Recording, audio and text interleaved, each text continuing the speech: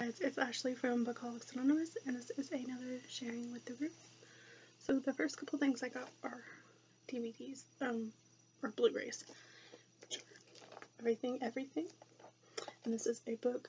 This was also a book um, by the same title um, by Nicola Yoon.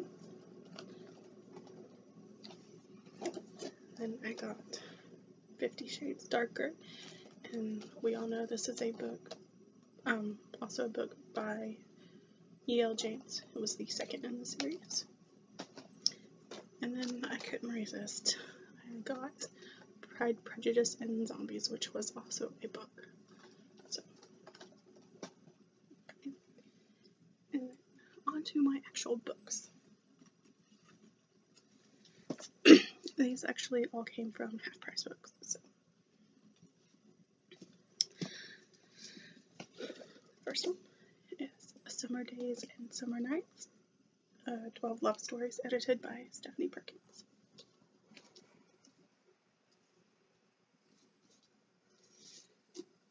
The next one is The Bodies We Wear,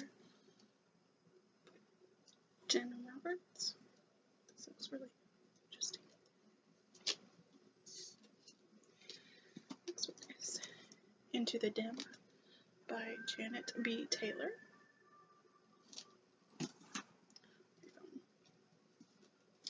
Next is Tell the Wind and Fire by Sarah Rees Brennan. I've heard good and bad things about this stuff. I like the cover. The next is The Winner's Curse by Marie Tusky. Tusky. Just need the third book and I can read the series. And then the last book I found, which I'm really excited because I've been wanting it since it's been out like a long time ago and you can't get it on Amazon, I'm not, I don't think, and I couldn't find it anywhere else. And that's The Near Witch by Victoria Schwab. And also, I didn't realize it when I bought it, but it is signed.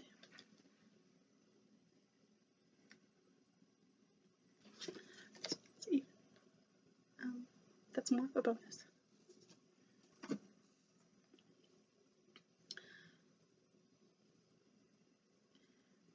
That is what I got in for this week.